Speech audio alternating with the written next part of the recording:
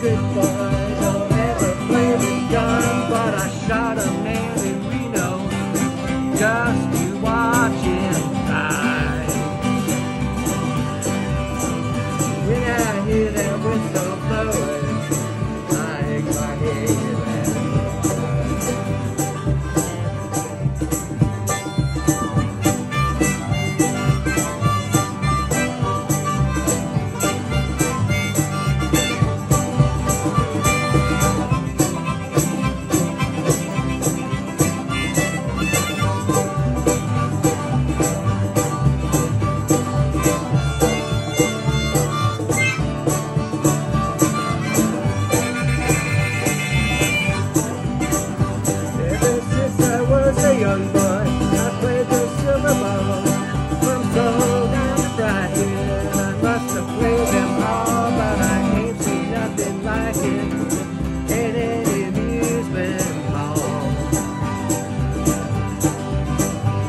That down sure to.